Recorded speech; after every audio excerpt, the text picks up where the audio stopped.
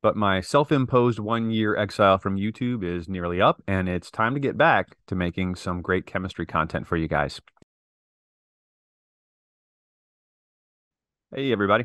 Professor Davis here, chemsurvival.com, the YouTube channel Chem Survival. Uh, if you're a channel subscriber or a regular viewer, you probably noticed I haven't been terribly active on YouTube lately, and there are some good reasons for that.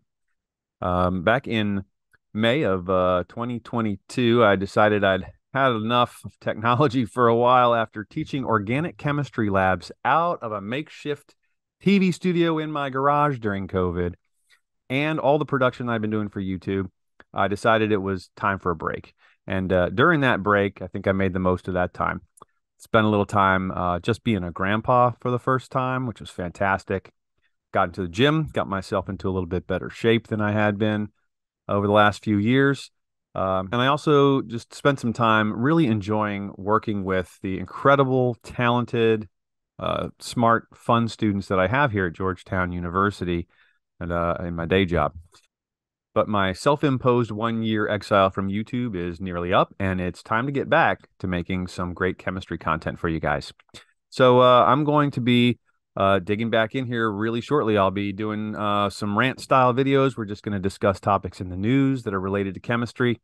Uh, and uh, we'll uh, profile some historical chemists who, who, did some really amazing work in the 18, 1900s in this century as well. And of course, we're going to do some literature based dives into what they accomplished and how. And uh, naturally, I'm going to be making more of my micro lectures, which are what really made the channel, I think, successful in the first place. So we'll be cranking out more and more of those to get you help with some of those topics you get stuck on while you're taking general and organic chemistry uh, courses in college. So uh, hang around, um, enjoy what's coming, and in the meantime, please feel free to drop a suggestion in the comments. I'm all ears for topics that you may be interested in hearing about. I'll put that on my list of videos to work on. And this summer, this fall, expect more content coming. Uh, I look forward to producing it for you, and I hope you're looking forward to seeing it too. In the meantime, everybody, I'm Professor Davis from chemsurvival.com, YouTube channel Chem Survival, and I'll see you real soon on my next video.